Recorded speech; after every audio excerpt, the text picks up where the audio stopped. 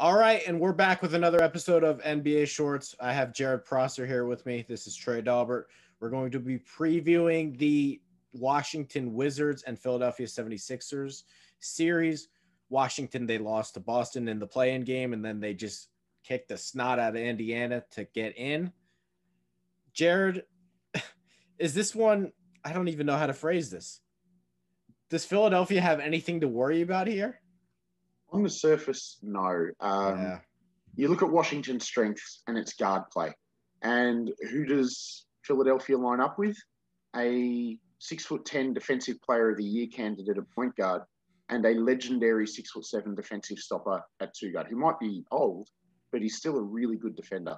They have got the perfect weapons to stop those two guards, to stop Beal and Westbrook. And that's even assuming we get good Westbrook. You mentioned the play in games. We saw bad Westbrook against Boston. We saw good Westbrook against Indiana. He is an absolute Jekyll and Hyde player. But if we get Dr. Jekyll, he's still going to run into Ben Simmons.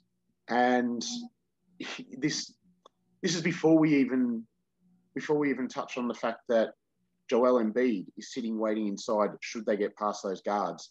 That any passing lane is going to have Matisse Thybulle and his 17 arms roaming around. This could be ugly. I, I commend Washington for getting as far as they have, considering the absolute like it was a shit show the first half of their season. Everything went wrong. COVID, injuries, whatever could go wrong could go wrong. So I commend them for getting as far as they have. But my God, this like it wouldn't surprise me if this one goes in four. I guess I won't bury the lead here, but I think this is going to be a Philadelphia sweep here. Yeah, it, it's one thing to get a oh Westbrook Beal, but we're not even getting a healthy Beal.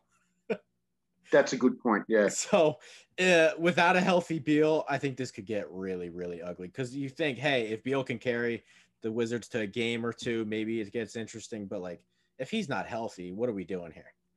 Well, that's it. Beal is the one guy who could do something because he doesn't have to get to the basket. He can he can beat you in so many different ways. But he's he's either going to get Danny Green or he's going to get Ben Simmons. The poor bloke is not going to see daylight. And when they go to the bench, Thybulle's going to take. He will not see daylight this whole series. And when you're running on one leg, this is going to be painful for Washington. I hate to say it because I'm I'm I'm really happy for them and, and the fact they've made the playoffs through all of the adversity that they've suffered. But yeah, Philly's just got too much defense, and frankly, Washington not enough defense. In, Alex Len, oh, the poor bloke. Embiid might not even know Len is there. He might just go, oh, "What was that speed bump?" He, as he rolls to his 35th dunk of the game. Um, Daniel Gafford is bouncy. We saw today he had five blocks. Um, he's bouncy, he's athletic, he tries, but he's just not big enough to stop Embiid. You know, this is the sort of series where it doesn't matter if Philadelphia goes cold. It doesn't matter if Ben Simmons shoots four times or 14 times. They can just throw the ball to Embiid and he will eat. Yeah, Philadelphia has much better shooting than they did I don't know, two, three years ago entering the playoffs mm. with a guy like Seth Curry, it's hard for me to believe that. And we have a good version of Tobias Harris again. It's hard for me to believe like they're going to go cold like in years past where they can't hit a shot either. Yeah, Doc Doc Rivers is the Harris whisperer, isn't he? He gets the best out of Toby Harris. But you even throw in um, a better shooter. Green's come on board. Um, Korkmaz has become a part of the rotation. Shake Milton is a dead Maxey is interesting yeah, Maxey can can come in and light it up if he if he gets the right scenario.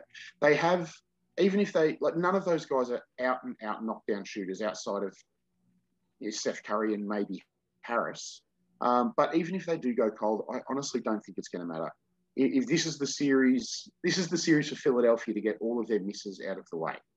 Um, they realistically should romp this in. I'm going to call it a sweep. Yeah, I totally agree. Uh, that's going to do it for this episode of NBA Shorts. Philadelphia in a rout. That's what we're predicting. Anyway, thank you guys for watching. Hit that subscribe button on YouTube. We'll see you next time. Thank you.